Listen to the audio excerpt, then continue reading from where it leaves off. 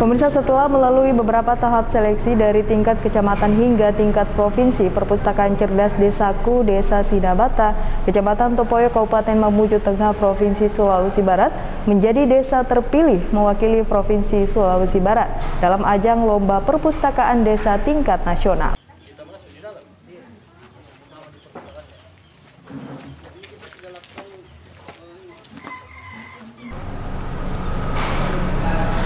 Perpustakaan Cerdas Desaku Desa Sinabata, Kecamatan Topoyo, Kabupaten Mamuju Tengah berhasil meraih juara tingkat Provinsi Sulbar dan terpilih sebagai perpustakaan desa yang akan mengikuti ajang lomba tingkat nasional mewakili Provinsi Sulawesi Barat.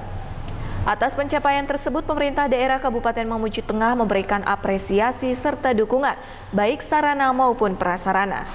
Asisten satu bidang pemerintahan Kabupaten Mamuju Tengah, Anwar Nasir, menyampaikan apresiasi serta berharap Desa Sinabata bisa meraih juara demi mengangkat citra Provinsi Sulawesi Barat, khususnya Kabupaten Mamuju Tengah di tingkat nasional.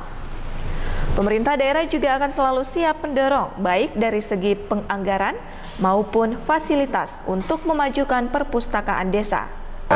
Tentunya yang diharapkan bahwa kegiatan lomba perpustakaan tingkat desa ini yaitu didukung oleh partisipasi terutama pemerintah desa.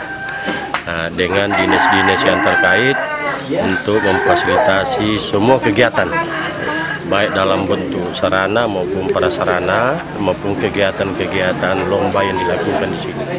Untuk apresiasinya Pak terkait karena dia mewakili provinsi iya, Barat seperti apresiasi apa? kita yang diharapkan minimal memuju Tengah selaku daerah baru yang terbentuk 8 tahun bisa betul-betul masuk juara pada tingkat pusat itu yang kita harapkan salah satu motivasi untuk mendorong pembangunan di daerah.